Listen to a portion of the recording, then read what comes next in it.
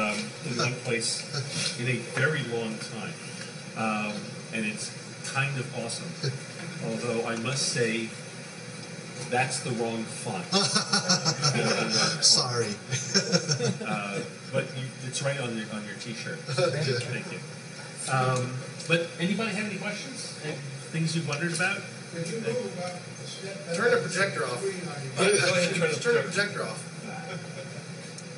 Yeah. Uh, the answer to your question is yes, I button We were talking at our last meeting about how Jack came up with the name Commodore, and I think we heard various versions. But you have one. So the story he told is impossible. Um, he said that he wanted to name the company General, but that was taken. Uh, General Electric and other and other such things, and that he was in a cab in Berlin, and a car cut him off and stopped. The cab had to stop short, and it was an Opel Commodore. Okay. And that car didn't come out until after he had made that decision. so I have no idea where the name came from, and apparently he didn't remember.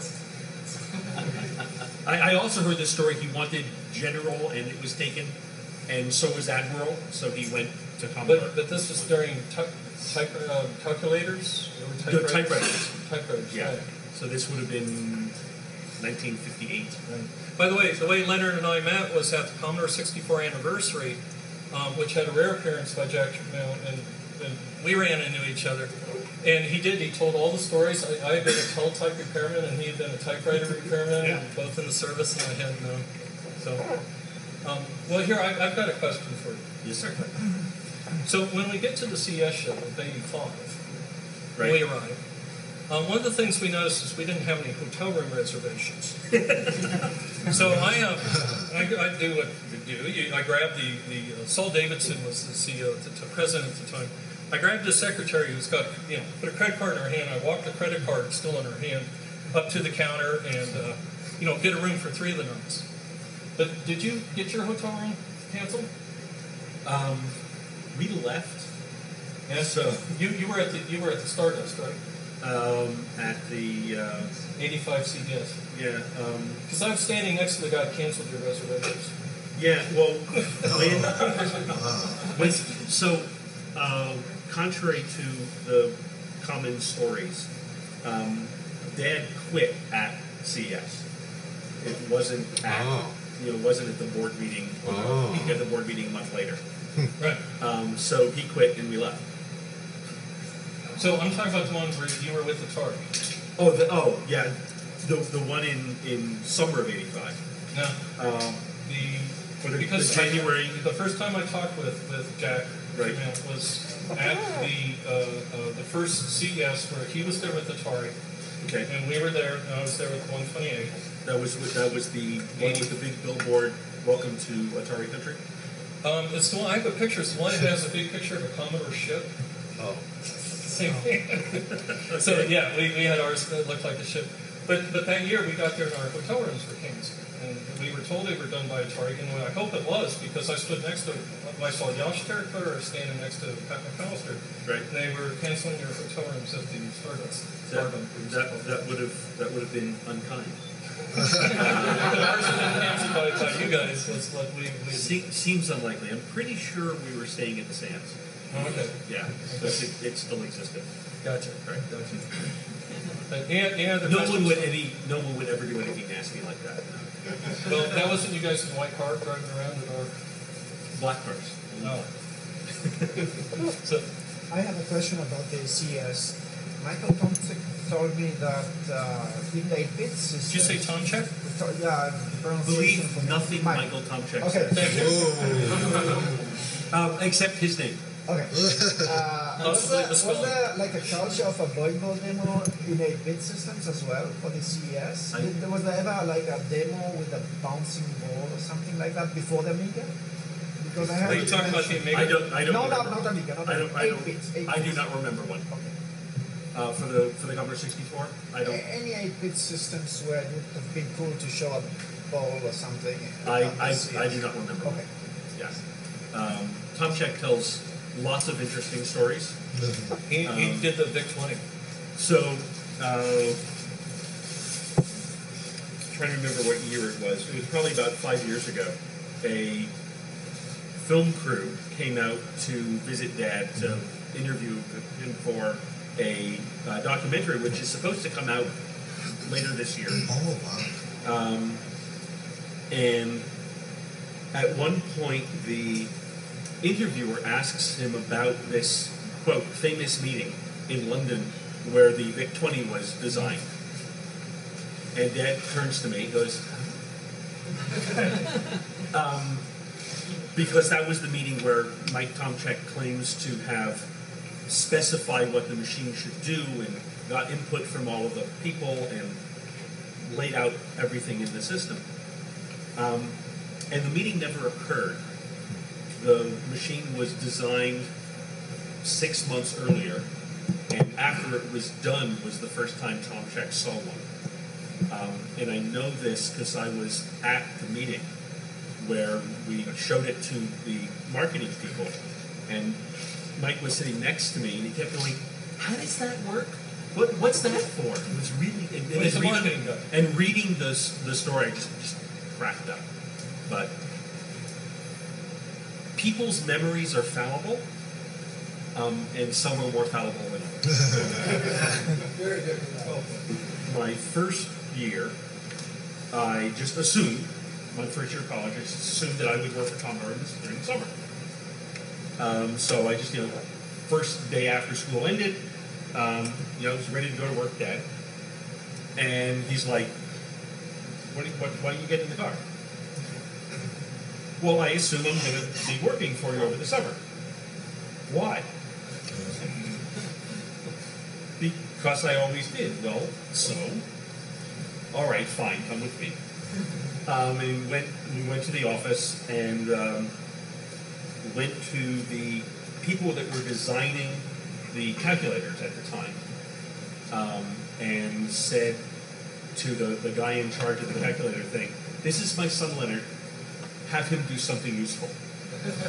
Um, and that was all, that was the instructions I got for the summer. Um, and I designed calculators and did all sorts of wonderful things. It was, it was really cool. The next year, I thought, okay, he doesn't want me to work for him during the summer.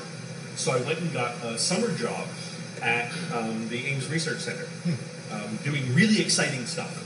I was counting craters on Mars. It was really, really great. Um, and when I didn't get in the car that first day, he said, "So where are you going?" I'm going to. I got a job at, at the Ames Research Center. What did you do that for? so I, I worked for him for summers after that. We didn't have to discuss it in advance. yeah. So I, I heard a lot of versions, and as you said, people's memories are fallible, of why Atari did not sell the NES. And I'm curious, were you involved in that? Do you know what version? Was there ever a chance of it? I do not believe there was ever a chance of it. I was not involved at all. Okay. um, for the first six months and almost year and a half of um, Atari, Okay. uh, we were really, really, really busy Right. working on the ST. Uh, Okay. and anything else we ignored. Okay. Uh, uh, going from design concept to working prototype in cases at CES in six months That's hard.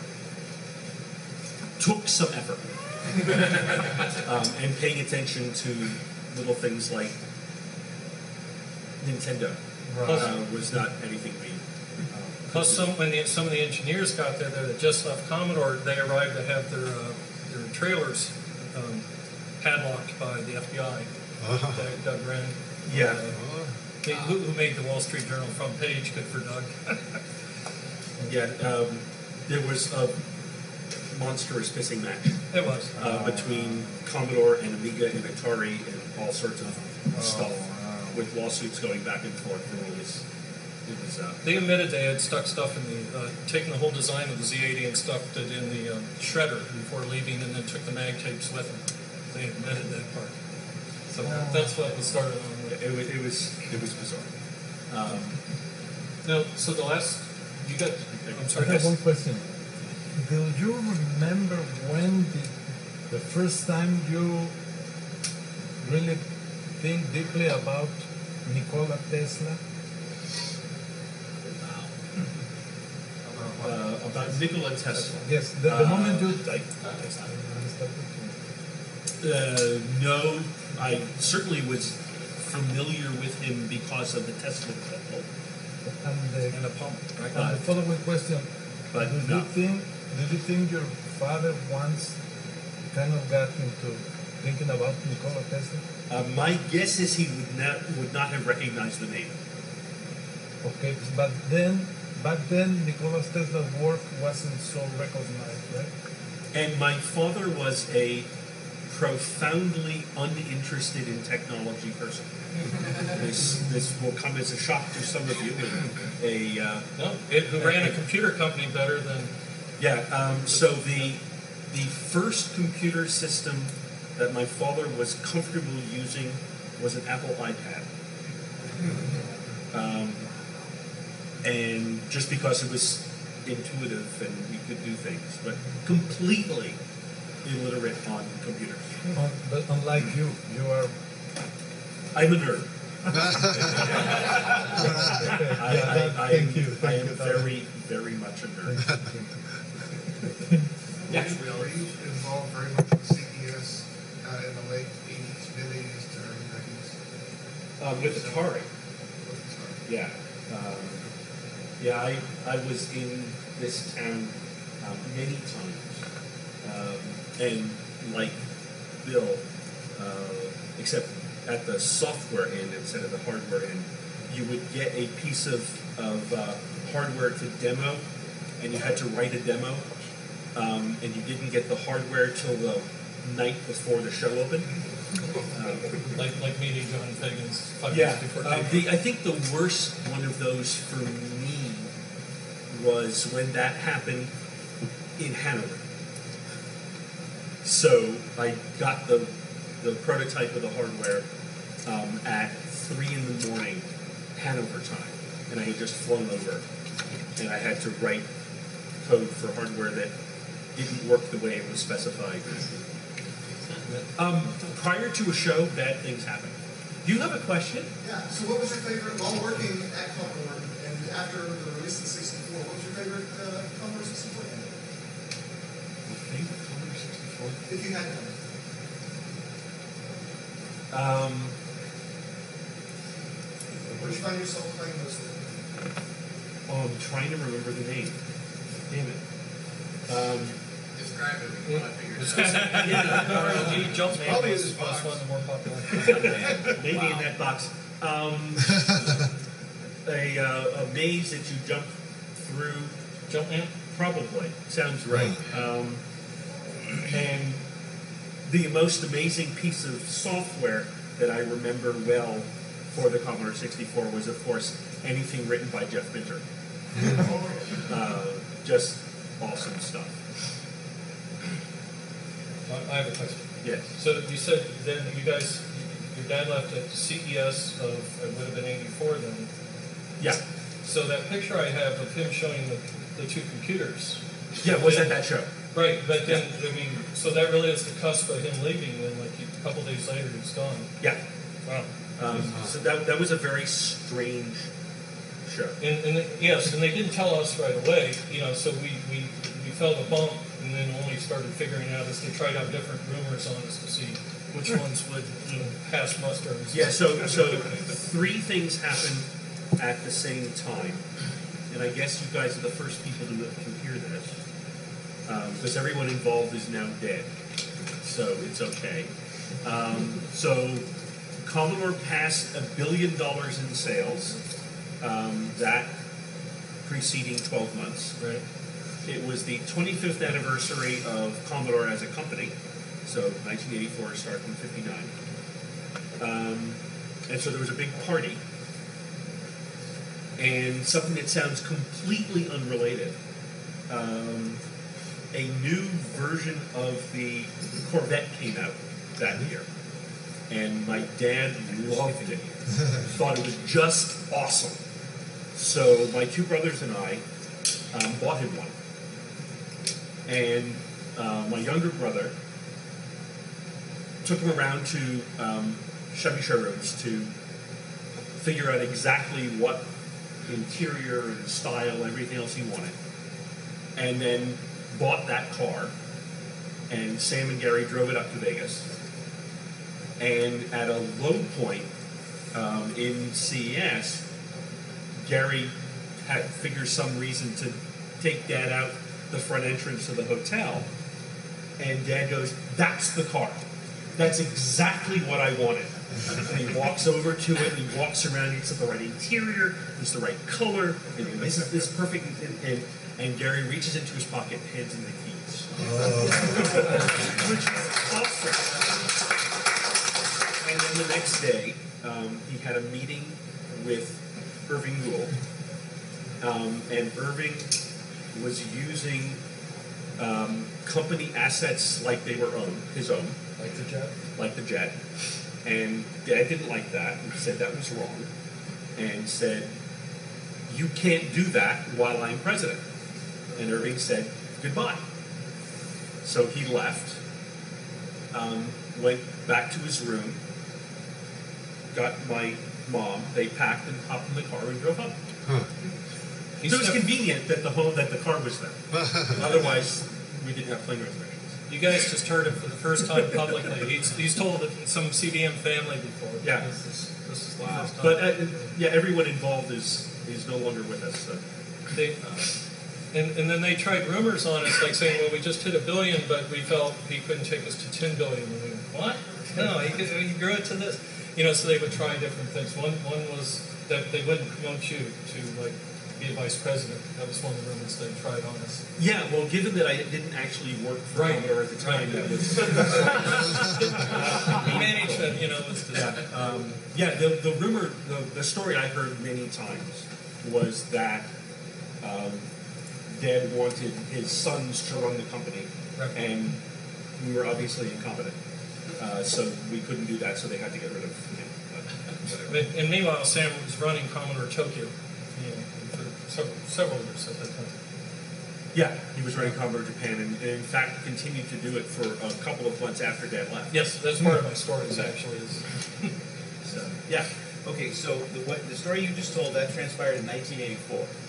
yeah, beginning Okay. of '84. So then the Commodore LCD with the, uh, with the, with the modular phone port in the side. Right. What year was that? 85. 85. So they're back as Atari by now, Okay. but I'm over on the. I need to show you this later. Okay. Any other question?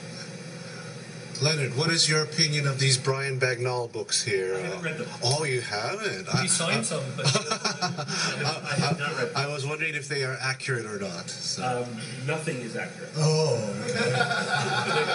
Um, I, I actually spent um, about a decade um, bashing my head against the California Department of Education, Okay. trying to convince them of a really silly idea, which is that textbooks need to be accurate. Um, and you're failing miserably. Um, if textbooks aren't accurate, there's no way those are. Um, I did talk to Brian a couple of times, um, so hopefully, what is in there, I think there's a quote from me on the back, um, which I didn't know until I saw a picture somewhere. Um, so hopefully, the questions he asked me, I answered correctly, and he transcribed what I said correctly. But I, I don't know. and, and Leonard's corrected some of the things I misspoke on or said just completely wrong. So, as he said in memory. Since they mentioned the book, uh, in it, he seems to think that your father was obsessed with keeping the Japanese out of the American market. Would you say that was accurate? No, no, that is not accurate. He was oh. obsessed with not having successful competition. He didn't care whether it was the Japanese or anybody else. I believe he understood that he needed Japan and Germany to be the what he was. Yeah. And other people weren't in Japan And here we have an office full of speaking Japanese-speaking people, and that was our angle and our edge, you know, for mass production. Because one of the examples he gives is uh, your father had a chance to lock in the lic- licensing rights for Donkey Kong early, before anyone else in the United States. And at the last second, he bailed. Can't imagine how that's true. On the last second, he bailed out of the deal because he was afraid that would give them bigger Can't, foothold. can't imagine how that's true. Donkey Kong was on the Atari. Yes, that was with, but even before that. He was going to be the first one, according to the book. Nah. I, my understanding is your dad wasn't obsessed with it. Didn't games wasn't the 64 for him. It was Yeah. educational and the stuff you could do with it. That's Right. that's what drove his Yeah. interest in the 64. So I, I couldn't believe he'd have any. So it was computing, it, it, was, you know, the, the whole power for the masses, not the classes Yeah. thing. Yeah. So you, you've probably heard that before. Yeah. Any truth to the fact that, or not, maybe not a fact, uh, Commodore had the opportunity to purchase Apple early on? Yeah. None whatsoever. Oh, I thought that was in the anniversary. You talked about his talks with Steve Jobs. Yeah. So um, Steve won in 45, and, you, you, and uh, Jack Tramiel said on stage something about an offer of 10,000 and, and kind of no, so it's the money from there on. the the uh, the what what happened? And you can go back and that that talk is on the web, Mhm. so you can listen Yep, to yep. it. Um, I, it was an hour long. I don't remember everything he said, but basically at, at one point, while the PET was being designed, um, Jobs and I don't remember if Woz was there or not, came in to talk to Commodore about marketing the Apple computer. And um, Dad said, We're, We've got our own. Uh, we're going to make one as well. Uh, but if you're using our processor, here are some samples. But good luck. Then, yeah. Yeah. Thank you. Uh, Commodore Japan was in the news recently because Satoru Iwata of Nintendo who recently passed away. used to port a few games for it. What happened to Commodore Japan? I have no idea. So when when we left Commodore in um, January of '84 um, and dove pretty quickly into Atari, uh, my direct association with Commodore was non-existent. So Bill will know a lot more about it than I, uh, but uh, no idea. And and it gets I assume they did good engineering because they always did. And there's a movie out called uh, um, by Dave Haynie called uh, Deathbed Virgil- Vigil. I, I won't even watch it because it's too sad. You know. So the life after me, I, I did the same thing. It's like I, I don't need to hear about this coming apart. You know, because this had been Camelot when I'd been there. Yeah, watch, watching Commodore slowly sort of shrivel up and die it was- was, was yeah. uncomfortable. Yeah.